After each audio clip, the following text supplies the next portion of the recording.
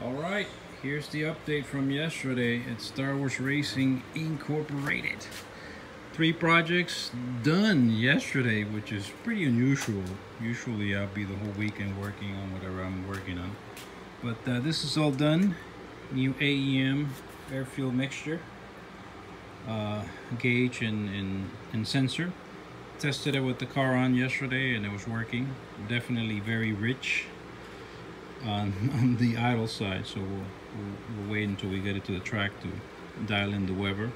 And the fuel pump ran the wires again through the switch to be safe. So that's all working nice and dandy. There's the old unit which is still good.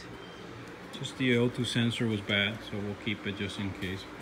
And the last thing was the caliper here in the front left. Just put in the new caliper the bracket's still the same uh, the old caliper is also still good, just needs some new rubber seals on the piston and it'll be fine.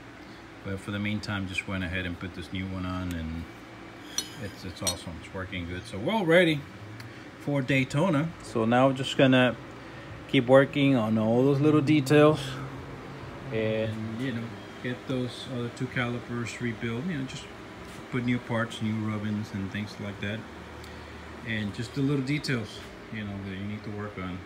Clean the tires and the wheels and on the test day. And uh, just just leave it all ready to go. So stay safe everybody.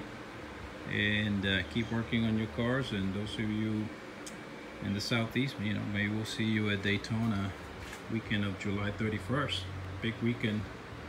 Uh, a lot of cars. I'm sure it'll probably be about 250 to 300 cars so big weekend for the central region SCCA. Stay safe.